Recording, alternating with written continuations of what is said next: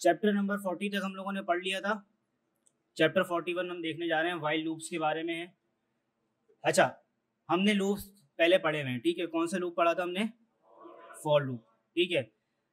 Total JavaScript में तीन तरह के लूप्स होते हैं। कितनी तरीके के? तीन तरीके के, ठीक है? फॉर लूप वाइल लूप और एक डू वाइल लूप ठीक है? अच्छा अब सबसे ज़्यादा जो यूज़ होने वाला है ना, ज़्यादातर जो आपके 90 परसेंट जो सिनेरियोज होंगे केसेस होंगे, वहाँ पे आपके पास फॉर लूप ही यूज़ होगा, ठीक है? जहाँ पे वाइल और डू वाइल जैसी सिचुएशन बनती है, वहाँ पे भी आप कुछ ना कुछ करके फॉर लूप वहाँ पे चला सकते हो। लेकिन ज़्यादा बेहतर ये है कि जिस तरह की सिचुएशन बन रही है, वहाँ पे उसी तरह का लूप भी यूज़ किया जाए, ठीक है? अच्छा यहाँ पे इन्होंने बताया कि भाई आपके पास एक लूप है जो कि आपने पहले पढ़ा था फॉर लूप जिसमें इन्होंने आई ज़ीरो से उसको इनिशिएट करवाया थ्री तक वो चलेगा और उसके बाद फिर हर बार आई को अलर्ट करता रहेगा। ठीक है? उसके बाद वो कह रहे हैं कि भाई आपको पता है कि जैसे जो ये प्रोसेस है ये कंट्रोल होता है तीन टर्म्स के साथ। ठीक है? तीन टर्म्स कौन कौन सी होती हैं वो? पता है आपको? पहली इनिशियलाइजेशन दूसरी कंडीशन और तीसरी इंक्रीमेंट ठीक है? अच्छा आ, तो इसी तरीके से अब ये जो है ना इंट्रोड्यूस करवा रहे हैं आपको वाइल्ड लूप को, ठीक है? अच्छा वाइल्ड लूप के अंदर क्या होता है? वाइल्ड लूप जो है, वो पहले से किसी इनिशियलाइज वेरिएबल के ऊपर चल रहा होता है। यानी कोई ऐसा वेरिएबल जो कि ख़ास तौर पे फॉर लूप के लिए नहीं बनाया गया। ठीक है? पहले से इनिशियलाइज था, पहले से उसमें कोई वैल्यू पड़ी हुई है और उसके उसके बिहार पे फिर आप उसको चला रहे हो। बाद अवत ऐसा होता है ना, जैसे आप कोई, अगर आपको कोई लेंथ तक कोई काम करवाना है या लेंथ से स्टार्ट करना है काम को तो वेरिएबल को इनिशियलाइज आपको फिर भी करना पड़ता है, लेकिन उसको रखना पड़ता है लेंथ के बराबर। ठीक है? अगर आपके पास कोई फ़ील्ड पड़ी हुई है जिसके अंदर, जहाँ से आपको इनिशियलाइज फॉर एग्ज़ाम्पल मैं एक फॉर लूप चलाना चाह रहा हूँ जो कि फाइव से ज़ीरो तक चलेगा। गौर करना फाइव से ज़ीरो तक ज़ीरो से फाइव तक नहीं फाइव से ज़ीरो तक। ठीक है? तो उसकी इनिशियलाइजेशन कहाँ से होगी? फाइव से। लेकिन फाइव वाली जो वैल्यू है, ये डायनामिक वैल्यू है, ये किसी एरे की लेंथ से उठ के आ रही है। तो मैं क्या करूँगा? पहले वेरिएबल आई को बराबर कर दूँगा किसी की लेंथ के। ऐसे ही है ना? उस एरे डॉट लेंथ के बराबर करूँगा, फिर एक एक, फिर उसमें लगाऊँगा कि जब तक कंडीशन जो है वो ज़ीरो से बड़ी है, तब तक ये लूप चलता रहे, है ना? और उसके बाद एक एक करके कम करता रहूँगा वैल्यू को डिक्रीमेंट करता रहूँगा। सही है? वो, वैसा काम जो है वो यहाँ पे इन्होंने बताया कि भाई यहाँ पे फॉर एग्ज़ाम्पल आपके पास कोई पहले से वेरिएबल है जो कि इनिशियलाइज्ड है। Variable I equals to zero इन्होंने ऊपर रख दिया। और वाइल जो है वाइल के अंदर आप सिर्फ़ और सिर्फ़ कंडीशन बताते हो। क्या बताते हो? सिर्फ़ कंडीशन बताओगे कि ये लूप जो है, वो जब तक ये वाली कंडीशन जो है, वो ट्रू है, तब तक ये लूप चलता रहेगा। सही है? अच्छा अब वो जो इंक्रीमेंट वाला जो पार्ट होता है, वो आप कहाँ पे करते हो? वो उस लूप के अंदर करते हो। ठीक है? इन्होंने क्या किया? इन्होंने जो भी अपना काम करना था, वो सारा काम करवाया और उसके बाद क्या कर दिया? इंक्रीमेंट करवा दी। ये मैनुअल इंक्रीमेंट है। लूप खुद नहीं कर रहा। आप चाहो तो वाइल में रखो, आप चाहो तो ना रखो वाइल के अंदर। लेकिन अगर आपने वाइल के अंदर इंक्रीमेंट नहीं रखी तो फिर वो लूप कौन सा लूप बन जाएगा? इनफाइनाइट लूप बन जाएगा वो। क्यों? क्योंकि वो चलता रहेगा। कंडीशन उसको ट्रू ही मिलती रहेगी। है ना? फॉर एग्ज़ाम्पल उन्होंने कहा कि आई जो है वो ज़ीरो के बराबर है।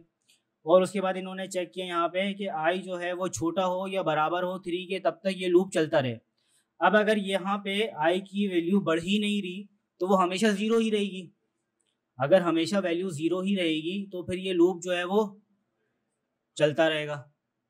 ठीक है? और यही चीज़ जो है वो आपके ब्राउज़र को हैंग कर देगी।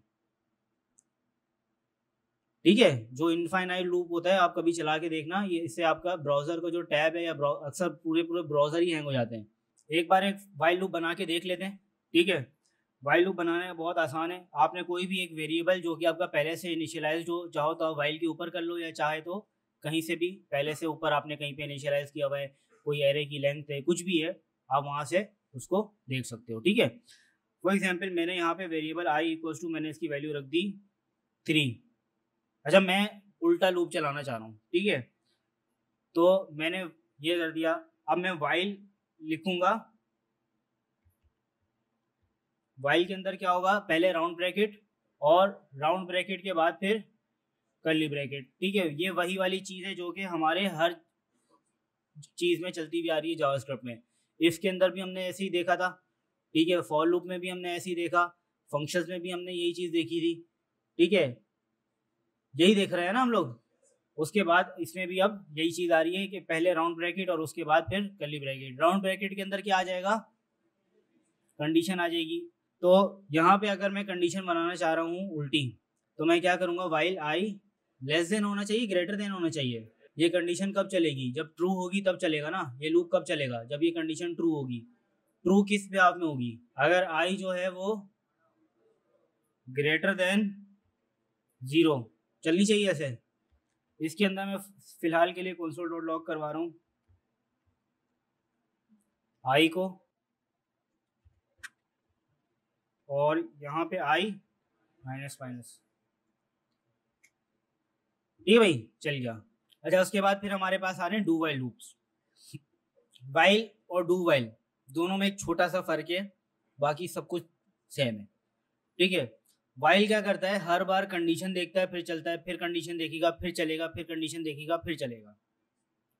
डू वाइल क्या करता है? पहले एक बार चल जाएगा, फिर देखेगा कंडीशन है या नहीं है? अगर कंडीशन ट्रू होगी तो दोबारा एक और बार चल जाएगा, फिर कंडीशन चेक करेगा। ठीक है? यानी एक बार चल जाएगा और उसके बाद फिर कंडीशन देखेगा। अच्छा ये जो वाइल डू वाइल है ना, उसके ऊपर एक बहुत अच्छी मीम थी। मुझे अगर मिल जाए ना तो अच्छी बात है। आप लोगों को बहुत अच्छी तरीके से समझ में आ जाएगा। ठीक है? ये वाइल लूप है और ये डू वाइल लूप है। ठीक है? इसके पास लूप चल रहा था कि जब तक एज यानी किनारा ना आ जाए, तब तक चलो। ठीक है? रन का फ़ंक्शन कॉल हुआ हुआ है। देख रहे हो? अंदर। थोड़ा सा पिक्सलेट हुआ है, लेकिन समझ में आ रहा होगा मेरे ख्याल से। ठीक है तो ये क्या, इसने क्या किया? यहाँ पे इसकी एज वाली कंडीशन जो है, ये फॉल्स हो गई और ये रुक गए यहाँ पे। ठीक है? लेकिन यहाँ पे क्या हुआ था? यहाँ पे डू वाई लूप लगा हुआ था और डू में क्या लिखा हुआ था? रन तो ये पहले भागेगा और उसके बाद कंडीशन चेक करेगा एज वाली। तो किनारा जो है, उसको, इसको बाद में पता चला कि किनारा आ गया है और ये भागता रहा। ठीक है, इस वजह से ये कहाँ पे आके रुका है? सही है? तो ये मीम जो है, ये परफेक्ट है वाइल और डू वाइल लूप को समझने के लिए। बात समझ में आ रही है? वाइल क्या करता है? वाइल जो है वाइल लूप वो आपका काम चलाएगा, लेकिन पहले कंडीशन को देखेगा। पहले कंडीशन को रीड करेगा। अगर कंडीशन रीड होगी तो आपका काम चलेगा। लेकिन डू वाइल क्या कहता है? डू वाइल कहता है कि कंडीशन ट्रू हो या फॉल्स हो, एक बार तो चलाना है। ठीक है? एक बार चलाएँगे, उसके बाद देखेंगे कंडीशन अगर कंडीशन ट्रू हुई तो दोबारा चलाएँगे।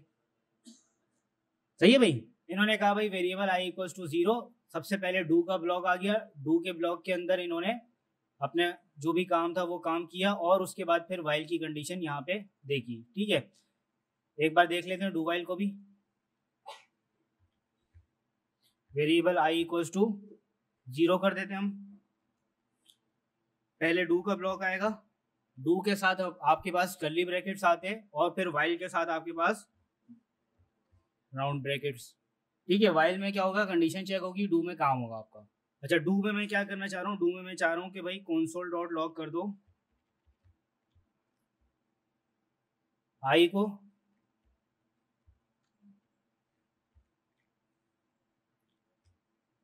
और आई में एक प्लस प्लस कर दो। ठीक है? अच्छा यहाँ पे मैं कंडीशन कुछ ऐसी रखना चाह रहा हूँ कि ये चले ही ना, ये लूप चले ही ना। क्या करूँ यहाँ पे ऐसा? अगर आई लेस देन ज़ीरो कर दूँ तो चलेगा? नहीं चलेगा। यानी आई लेस देन ज़ीरो सही चीज़ है ना यहाँ पे। यानी कंडीशन फॉल्स हो जाएगी ना आई लेस देन ज़ीरो करने से। I is less than zero आपके हिसाब से ये लूप कितनी बार चलना चाहिए? एक बार, बस। सही है? एक ही बार चला। अच्छा अब अगर मैंने इस लूप को चलाना है, किसी स्पेसिफिक कंडीशन तक तो फिर मैं क्या करूँगा? I is greater than three कर दूँ? कितनी बार चलेगा ये बताओ? एक बार चलेगा बस। चलो देखते हैं। अब एक बार क्यों चला? कंडीशन फॉल्स है। ये कह रहा है कि भाई आई जो है वो बड़ा है थ्री के। तो कंडीशन फॉल्स कैसे हुई? आई की वैल्यू तो वन हो जानी चाहिए ना, मैंने आई प्लस प्लस करवाया, यहाँ पे इसने किया क्यों नहीं? वन हो गई वन इसने कहा वन बड़ा होता है थ्री से तो कंडीशन क्या हो गई? तो इसका मतलब मुझे कंडीशन कैसे लगानी पड़ेगी? अब कितनी बार चलेगा? तीन, यानी ज़ीरो वन टू थ्री पे नहीं चलेगा। नहीं चलेगा? ये डू वाइल लूप है, एक बार तो एक्स्ट्रा चलेगा ना? नहीं, ठीक है ज़ीरो वन टू थ्री क्यों नहीं चला? थ्री पे आने के बाद यहाँ पे कंडीशन क्या हो गई? डू वाइल का मतलब ये नहीं है कि लूप एक बार एक्स्ट्रा चलेगा। डू वाइल का मतलब ये है कि काम पहले होगा कंडीशन बाद में चेक होगी। ठीक है? रन टाइम उसका भी उतना ही होगा। समझ में आ गया भाई? वाइल डू वाइल लूप पक्की बात है? कमेंटिंग आप लोगों को पता है ऑलरेडी के कमेंट्स किस किस तरीके के होते हैं। दो तरीके के कमेंट्स होते हैं जावास्क्रिप्ट के अंदर। पहला होता है सिंगल लाइन कमेंट और दूसरा होता है multi line comment single line comment के लिए आप डबल स्लैश लगा देते हो। और मल्टी लाइन कॉमेंट के लिए आप स्टार्ट करते वक्त स्लैश स्टेरिक और बंद करते वक्त स्टेरिक स्लैश ठीक है? अब हमारे पास इवेंट्स आ रहे हैं ठीक है? इवेंट्स वाला जो काम है ना ये आ, अगर ये वाला काम ना हो तो मतलब एक तरीके से हमारे पास जो जावास्क्रिप्ट है ना वो एक तरीके से फजूल हो जाती है ब्राउज़र में यूज़ होने के अगर हमारे पास इवेंट्स वाला काम ना हो ठीक है? क्योंकि इवेंट्स ही वो चीज़ है जिसकी बिहाफ पे हम यूज़र के किसी एक्शन के ऊपर स्पेसिफिक टास्क अपने परफॉर्म करवा सकते हैं। ठीक है? स्पेसिफिक फ़ंक्शंस को कॉल करवा सकते हैं। ठीक है? कौन सी चीज़ होती है इवेंट्स ठीक है? इवेंट बहुत सारी तरीके के होते हैं। क्लिक के इवेंट्स होते हैं। होवर के इवेंट्स होते हैं। होवर पता है किसको कहते हैं? पता है ना? सीएसएस में पढ़ा था ना हमने होवर ठीक है? बिल्कुल इसी तरीके से माउस डाउन के इवेंट होता है माउस अप का इवेंट होता है। ठीक है, यानी माउस डाउन माउस अप का मतलब ये है कि जब मैंने माउस वाली जो क्लिक है ना, वो दबा दी तो इसका मतलब क्या है ये? माउस डाउन और अगर क्लिक को मैंने छोड़ दिया तो ये क्या है? कौन सा इवेंट है? माउस अप ठीक है, इस तरह के बहुत सारे फ़ंक्शन होते हैं। ड्रैग का फ़ंक्शन होता है ड्रॉप का फ़ंक्शन होता है, बहुत सारी चीज़ें होती है। ठीक है अक्सर आपने वेबसाइट में ड्रैग एंड ड्रॉप तो किया ही है ना? तो ये सारी चीज़ें पॉसिबल ही इस तरीके से होती हैं कि अगर हमारे पास जो जावास्क्रिप्ट में जो इवेंट्स होते हैं, बल्कि इवेंट बेसिकली पार्ट एचटीएमएल का है, लेकिन हम इनको जावास्क्रिप्ट में यूज़ कर रहे होते हैं, ठीक है? मतलब कॉल जो है वो एच से हो रहे होते हैं, क्योंकि आपने जो भी काम करना है किसी भी तरह का बेसिकली पहले आपको वो इवेंट्स डिफाइन करने पड़ते हैं एच के अंदर, ठीक है? क्योंकि ज़ाहिर सी बात है आपको कोई भी इवेंट लगाना है तो वो किसी ना किसी एलिमेंट के ऊपर लगाना पड़ेगा। क्लिक का इवेंट लग जाए, ठीक है? ड्रैग का लग जाए ड्रॉप का लग जाए, ठीक है? ये सारे इवेंट्स जो है होवर का लग जाए, ये बेसिकली यूज़र जो है, वो इंटरेक्ट तो आपकी एच के साथ कर रहा होगा। ऐसे ही है ना? तो यूज़र जो है, वो अगर क्लिक करेगा तो वो किसी एच के एलिमेंट के ऊपर क्लिक करेगा, ठीक है? लेकिन आप उसको वॉच कर रहे होगे कि अगर यूज़र ने उस एच के एलिमेंट के ऊपर क्लिक किया है तो फिर मेरा ये वाला फ़ंक्शन जो है, ये कॉल हो जाए। सबको समझ में आ रहा है क्या हुआ यहाँ पे? अच्छा आपकी बुक के अंदर ना एक चीज़ गलत प्रिंट हुई हुई है कि यहाँ, जहाँ पे ना ये ऑन क्लिक लिखा हुआ है ना, ये बेसिकली सी इसका स्मॉल होता है। ऑन क्लिक इस तरीके से लिखा जाता है। जो कैपिटल सी वाला है, वो गलत है। ठीक है? शायद एच की वजह से चल जाए, लेकिन इसका ठीक तरीका जो है, वो स्मॉल सी है। सही है? इन्होंने क्या किया? इन्होंने ऑन क्लिक इक्वल्स टू लगाया और ऑन क्लिक के अंदर इन्होंने पता है क्या लिखा हुआ है? जावास्क्रिप्ट की पार्ट लिखा हुआ है देख रहे हो? ये जो अलर्ट है, ये जावास्क्रिप्ट है ना? ऑन क्लिक के अंदर इन्होंने पूरी की पूरी जावास्क्रिप्ट चला दी। ठीक है? अब देखते हैं ये वाकई में चल भी रहा है या ऐसे ही है, बस। एक क्लिक का बताया, मैं इस पर क्लिक करता हूँ और ये चल गया। अगर ये जो अलर्ट है, आप सब लोगों को मैंने बताया था, ये क्या है? जावास्क्रिप्ट का एक फ़ंक्शन है। फ़ंक्शन है ना अलर्ट कुछ बिल्ट इन फ़ंक्शन होते हैं और कुछ हम मैनुअल बनाते हैं। ठीक है? अब अलर्ट जो ये कौन सा फ़ंक्शन है? बिल्ट इन ठीक है? अब अगर बिल्ट इन फ़ंक्शन चल रहा है तो इसका मतलब ये कि मैनुअल फ़ंक्शन भी इसको चलाना चाहिए। मैं यहाँ पे एक फ़ंक्शन बना रहा हूँ।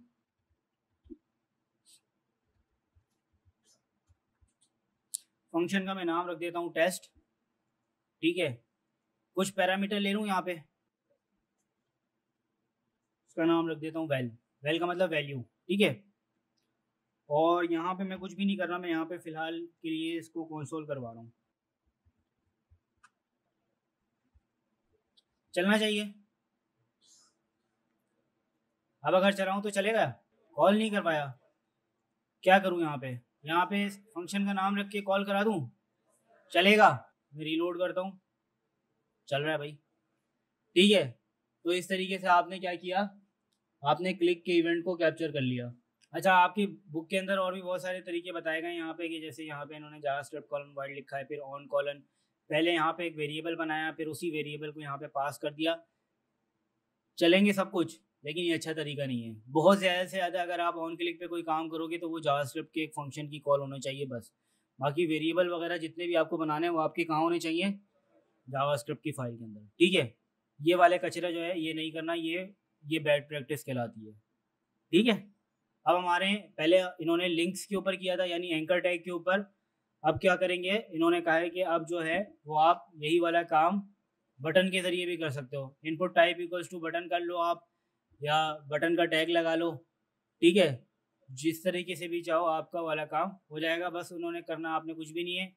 ये जो ऑन क्लिक है ऑन क्लिक के ऊपर ही वही सारा काम चल रहा होगा, बाकी और कुछ भी डिफरेंस नहीं है इसके अंदर।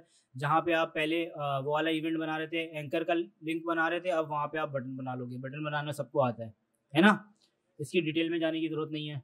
बिल्कुल उसी तरीके से इन्होंने आईएमजी के टैग है उसके ऊपर भी ऑन क्लिक लगाया। ठीक है ऑन क्लिक वाला जो इवेंट है, वो आप किसी भी डिफ पे भी लगा सकते हो। ठीक है, कहीं पे भी लगा सकते हो। वो चल जाएगा। लेकिन ज़्यादा बेहतर ये है कि ऑन क्लिक का जो इवेंट है, वो या तो किसी एंकर के ऊपर लगाया जाए, ठीक है, या फिर किसी बटन के ऊपर, ठीक है, ताकि यूज़र को पता तो चले कि यहाँ पे मैं क्लिक कर सकता हूँ, ठीक है। फिर माउस का इवेंट आ गया ऑन माउस ओवर ठीक है। यहाँ पे भी ये जो एम जो कैपिटल है, ये स्मॉल होगा, ठीक है। ये वाली जो इसके अंदर चीज़ें हुई हैं this dot style dot colour ये एस आर सी वगैरह, ये इन्होंने यहाँ पे एग्ज़ाम्पल के तौर पे बताया हुआ है, लेकिन ये अच्छी प्रैक्टिस नहीं है, ठीक है। ये सारा का सारा काम कहाँ पे होना चाहिए? जावास्क्रिप्ट की फ़ाइल में। आप बहुत ज़्यादा से ज़्यादा क्या करोगे? ऑन क्लिक के ऊपर या ऑन माउस ओवर के ऊपर कहीं पे भी एक फ़ंक्शन को कॉल करवाओगे। ठीक है? फ़ंक्शन के अंदर रहते हुए आप सारे काम करो। जावास्क्रिप्ट का काम जावास्क्रिप्ट की फ़ाइल के अंदर ही अच्छा लगता है। अच्छा ऑन माउस ओवर क्या करेगा पता है आपको?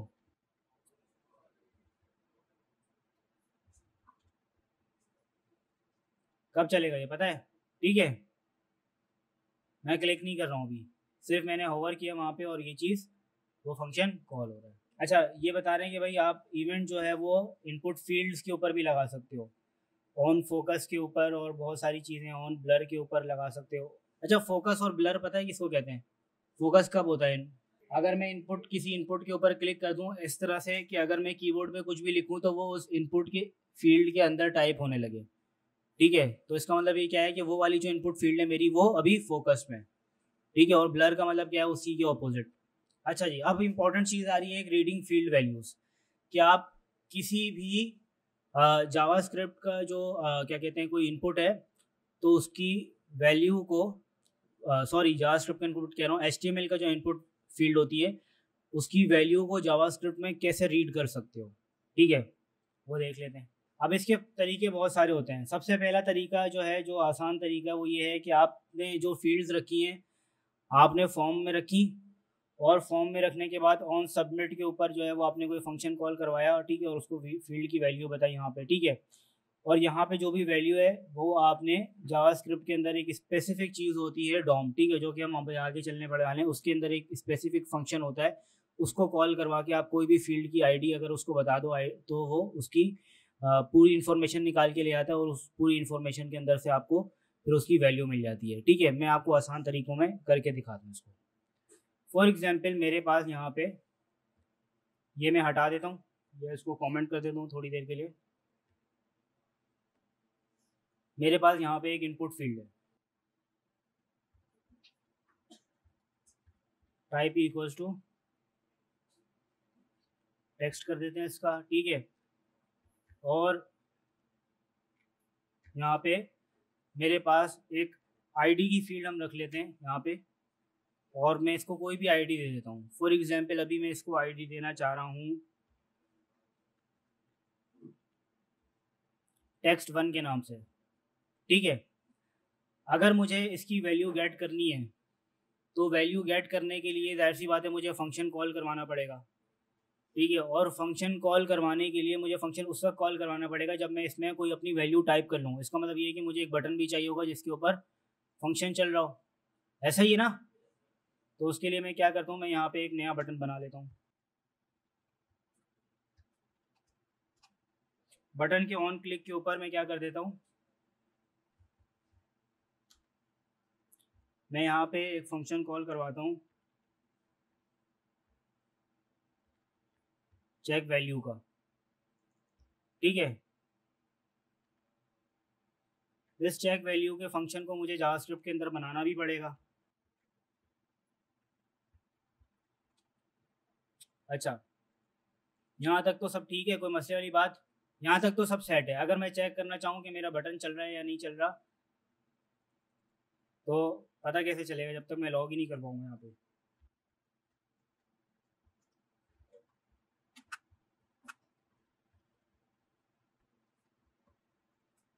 ठीक है भाई, ये चल रहा है। बटन इतना सा इसलिए आ रहा है क्योंकि मैंने बटन के अंदर कुछ दिखाया नहीं अभी। ठीक है, मैं यहाँ पे रख देता हूँ। चेक ठीक है।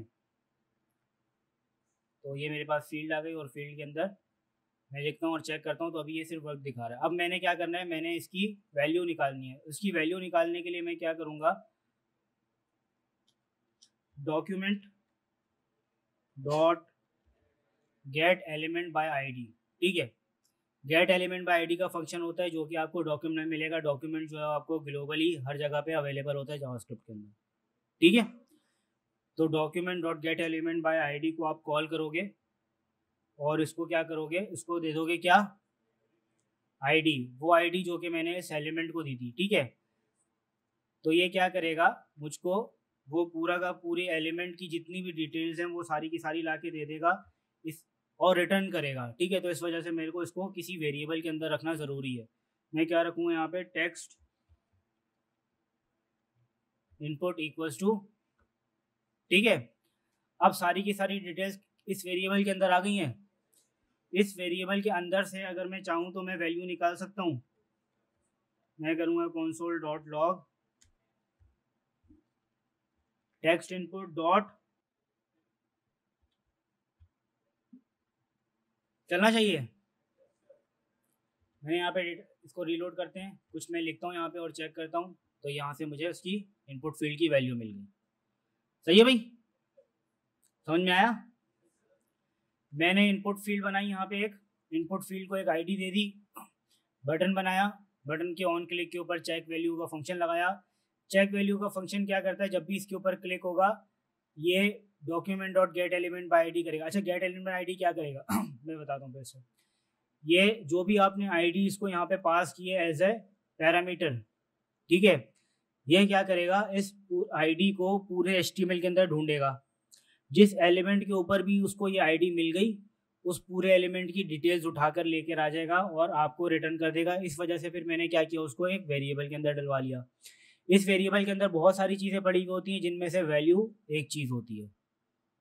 ठीक है? तो मैंने डॉट वैल्यू करके उसकी वैल्यू निकाल ली क्लियर है? वैल्यू जो है ना, यहाँ से हटा देना और देखना इसमें क्या क्या चीज़ें आ रही हैं। ठीक है सारी प्रिंट हो जाएँगी। करके दिखा देता हूँ एक बार। यहाँ पे आपको ये फ़ील्ड मिली है। आ, पूरी की पूरी इसमें फ़ील्ड प्रिंट कर दी है। इसके अंदर जो है यहाँ पे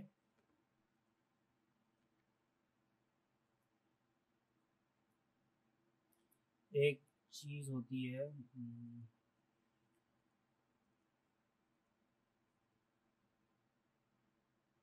ठीक है ये देखो ये सारी चीज़ें इसके अंदर है। एक्सेप्ट एक्सिस की अलाइन बहुत सारी वैल्यूज़ हैं इसके अंदर, ठीक है? इसी में से एक जो है वो आपको इसके चाइल्ड भी मिल जाएँगे चाइल्ड नोट्स चिल्ड्रन ठीक है? चिल्ड्रन इसके है नहीं, इसलिए एम टी है, यहाँ पे class list class name data set इन्हीं में से ये देखो, इसके ऊपर आईडी लगी हुई है टेक्स्ट वन की आईडी भी आ रही है। मिनिमम लेंथ इस पर कुछ है, लगी हुई, नहीं है मैक्स है मिन है। ठीक है? इन बहुत सारी चीज़ों में आपको नीचे जाके वैल्यू भी मिल जाएगी। ये आ गई वैल्यू इस चीज़ को हम कहते हैं डिबगर पॉइंट्स क्या कहते हैं? डिबगर पॉइंट्स अच्छा डिबगर पॉइंट्स क्या होते हैं? बेसिकली हमारी कोडिंग के अंदर, ठीक है? जब भी हमारे पास किसी भी तरह के मसले आ रहे होते हैं ना, ठीक है? कोई भी कोडिंग के अंदर इशू आ रहा है, ठीक है? उसको हम कहते हैं बग्स क्या कहते हैं? बग्स ठीक है? अब बग्स को निकालने वाला जो प्रोसेस है, उसको हम कहते हैं डीबग ठीक है? डीबग कैसे होता है? डीबग के अंदर आपको एक एक चीज़ को, अपनी ही चीज़ को बैठ के एनालिसिस करना पड़ता है उसका। ठीक है? कि आपने कहाँ पे कौन सी चीज़ गलत कर दी है, जिसकी वजह से जो उसका एक्सपेक्टेड आउटपुट है, वो वैसा नहीं आ रहा। फॉर एग्ज़ाम्पल आप कैलकुलेटर बना रहे हो कैलकुलेटर में आप उसको फाइव प्लस फाइव करते हो और वो बताता है फिफ्टीन ठीक है? तो आपको देखना पड़ेगा कि कहाँ पे गलती हो रही है। ठीक है, क्योंकि फाइव प्लस फाइव फिफ्टीन तो होता नहीं है। फिर आप क्या करते हो, फिर आप या तो अपने कोड में जाओ यहाँ पे एक एक करके बैठ के अपनी ही लाइन को बढ़ाओ दोबारा से। ठीक है, कि आपने कहाँ पे कौन सी गलती कर दी है। और दूसरा तरीका ये होता है कि जहाँ पे चल रहा है ब्राउज़र में, आप वहीं पे देख सकते हो कि कौन सी चीज़ कैसे चल रही है रन टाइम पे। एक एक लाइन के ऊपर कौन से वेरिएबल में कौन सी वैल्यू थी, आप वो भी चेक कर सकते हो, कैसे डिबगिंग पॉइंट्स के थ्रू ठीक है, आप अपनी स्क्रिप्ट के अंदर डिबगिंग पॉइंट्स इसलिए लगाते हो ताकि आपका ब्राउज़र उस स्पेसिफिक जगह पे आके रुक जाए। ठीक है, आपको, आप पहले उसकी वैल्यू चेक कर लो, उसके बाद आप उसको बोलो, ठीक है, आगे चलो। फिर वो आगे चले। ठीक है, कैसे देखते हैं? यहाँ पे मैं गया सोर्सेज के अंदर मेरे पास पूरी की पूरी फ़ाइल आ गई मेरी, जो मैंने ऐप डॉट जे की रखी हुई थी। ठीक है? अगर आपके पास ये वाली फ़ाइल नहीं आ रही हो तो कोई मसले वाली बात नहीं है। आप जो है वो यहाँ पे लेफ़्ट कॉलम जो होता है, वहाँ पे आके भी चेक कर सकते हो, यहाँ पे आपको फ़ाइल मिल जाएगी। अगर यहाँ पे भी नहीं नज़र आ रही है, आपको बहुत सारी फाइलें तो फिर यहाँ पे आपको कंट्रोल पी का बटन दबाना है, अपनी फ़ाइल का नाम लिखना है तो आपको वो खुद ही आपकी फ़ाइल का नाम देगा, आपने इंटर करना है, वो फ़ाइल आपकी यहाँ पे ओपन हो जाएगी। यहाँ पे आप मल्टीपल फाइल्स भी ओपन कर सकते हो। अभी मेरे पास सिर्फ़ एक ही फ़ाइल ओपन हुई है ऐप डॉट जे की। ठीक है? अब मैं फॉर एग्ज़ाम्पल यहाँ पे मेरे पास कोई जो वैल्यू आ रही है ना, वो अनएक्सपेक्टेड आ रही है इस लाइन के अंदर। ठीक है? या फिर इस लाइन के अंदर। मैं चाह रहा हूँ यहाँ पे जो मेरी स्क्रिप्ट है, वो रुक जाए। मुझे बताए कि यहाँ पे इस टाइम पे, इस वेरिएबल के अंदर क्या वैल्यू रखी हुई थी। मैं वो देखना चाह रहा हूँ। ठीक है? तो मैं क्या करूँगा, मैं यहाँ पे, जहाँ पे नंबर लिखे हुए आ रहे होते हैं ना, आपकी लाइन नंबर वहाँ पे मैं क्लिक कर दूँगा, ये पॉइंट यहाँ पे ऐड हो गया डिबगिंग पॉइंट इसको क्या कहते हैं? डिबगिंग पॉइंट अब मैं क्या करूँगा? अब मैं कोई ऐसा काम करूँगा कि उससे ये स्क्रिप्ट दोबारा से रन हो, यानी ये वाली लाइन जो है वो दोबारा से चले। अब इस लाइन को दोबारा से चलाने के बहुत सारे तरीके हो सकते हैं। अगर हम फ़ंक्शन के अंदर हैं तो हम किसी तरीके से उस फ़ंक्शन को दोबारा से कॉल करवाएँगे। ठीक है? तो वो फ़ंक्शन जब कॉल होगा तो ये वाली लाइन चलेगी। जब ये वाली लाइन चलेगी तो वो इस लाइन पे आके रुक जाएगा। अगर फ़ंक्शन के अंदर नहीं रखा हुआ हमने तो हम सिंपली क्या करेंगे? रीलोड कर देंगे। रीलोड होगा तो स्क्रिप्ट तो चलेगी ना। उस टाइम पे वहाँ पे आ जाएगा। अगर फ़ंक्शन के अंदर होगा तो फिर रीलोड काम नहीं करेगा। क्यों? क्योंकि वो फ़ंक्शन के अंदर है। फ़ंक्शन के अंदर वाला पार्ट अभी चल नहीं रहा। फ़ंक्शन के अंदर वाला पार्ट उसी वक्त चलेगा जब फ़ंक्शन कॉल होगा। अब फ़ंक्शन ये वाला चेक वैल्यू का फ़ंक्शन मैं कैसे कॉल करवा सकता हूँ? बटन पे क्लिक करके। मैंने बटन पे क्लिक करवाया। इसने कहा पॉज इन डिबगर यानी डिबगर के अंदर पॉज हो गया है। आपकी स्क्रिप्ट जो है वो रुक गई है। ठीक है? अब यहाँ पे ये इसको हाईलाइट कर रहा है इस लाइन को। मैं यहाँ पे आके इस पर सिर्फ़ हवर करूँगा, जो मेरा वेरिएबल था। ये मुझे पूरी वैल्यू उसके अंदर दिखा रहा है कि वेरिएबल के अंदर आपके क्या वैल्यू रखी हुई है।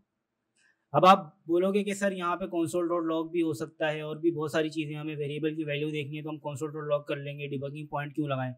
लेकिन जब आप किसी बड़ी स्क्रिप्ट के ऊपर काम कर रहे होते हो, जिसमें बहुत सारे फ़ंक्शन हैं, बहुत सारी लाइन्स हैं, आप अगर फॉर एग्ज़ाम्पल आपका शक जो है वो कोई दस जगह पे होता है कि यहाँ पे भी मसला हो सकता है, यहाँ पे भी हो सकता है, यहाँ पे भी हो सकता है, यहाँ पे भी हो सकता है। आप दस की दस जगह पे बैठ के कॉन्सोल डॉट लॉग लगाओगे, फिर जब वो मसला हल हो जाएगा, बैठ के दस की दस जगह पे कॉन्सोल डॉट लॉग रिमूव करोगे। कितना टाइम ज़ाया होगा? उससे बेहतर ये नहीं है कि मैं यहाँ पे एक पॉइंट लगा लूँ सिंपल सा। वैल्यू मुझे यहीं पता चल जाएगी। ठीक है तो यहाँ पे मैंने जब हवर किया तो ये मुझे सारी वैल्यू दिखाने लग गया। ठीक है, इसके अंदर और भी बहुत सारी चीज़ें होती हैं। अगर मैं यहाँ से इसको कर दूँ तो ये क्या करेगा? ये क्या करेगा? ये जो इसकी नेक्स्ट फ़ंक्शन कॉल है, ये वहाँ पे चलाएगा फॉर एग्जांपल अगर यहाँ पे एक फ़ंक्शन कॉल हो रहा होता कंसोल डॉट लॉग की जगह पे मेरा अपना फ़ंक्शन कोई कॉल हो रहा होता तो ये क्या करता, उस फ़ंक्शन पे ले जाता मुझको कि फॉर एग्ज़ाम्पल यहाँ पे मैंने देख लिया हाँ सब ठीक है। ठीक है, और ये वाला जो बटन है, इससे क्या होगा? इससे ये रिज्यूम हो जाएगा। स्क्रिप्ट जो है वो यहीं से आगे चल पड़ेगी। ठीक है? अगर मैंने कहीं और डिबगिंग पॉइंट लगाया हुआ है तो वहाँ जाके रुकेगा, वरना फिर ये रिज्यूम हो जाएगा। ठीक है, और कहीं लगा हुआ नहीं था, इसलिए स्क्रिप्ट चल गई पूरी। इसको हम कहते हैं क्या? डिबगिंग पॉइंट्स ये ज़िंदगी भर आपके काम आने वाली चीज़ है। ठीक है? डिबगिंग पॉइंट्स इसकी मेरे ख्याल से आज ही अगर जाके प्रैक्टिस कर लो तो अच्छा रहेगा आपको। ठीक है? आगे आपकी प्रैक्टिस कर रहे होगे, कोई भी काम कर रहे होगे डिबगिंग पॉइंट्स आपके बहुत काम में आने वाले हैं। अच्छा सेटिंग फ़ील्ड वैल्यूज़ फ़ील्ड की वैल्यूज़ को सेट किस तरीके से कर सकते हैं हम? फ़ील्ड की वैल्यू को सेट करने का बहुत आसान सा तरीका जैसे आपने डॉट वैल्यू को गेट किया ना वैल्यू इक्वल्स टू करके कोई भी काम कर दो।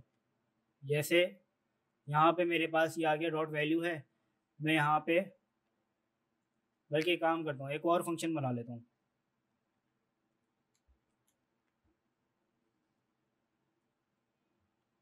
इसको कर देता हूँ सेट वैल्यू अब मैं कॉन्सोल डॉट लॉग की जगह पता है क्या करूँगा?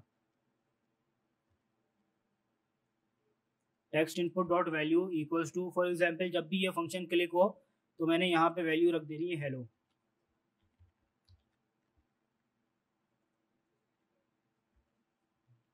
ठीक है? इसको कॉल करने के लिए मैं यहाँ पे एक और फ़ंक्शन बना रहा हूँ। सॉरी एक और बटन बना रहा हूँ। यहाँ पे इसका नाम रख देता हूँ सेट और यहाँ पे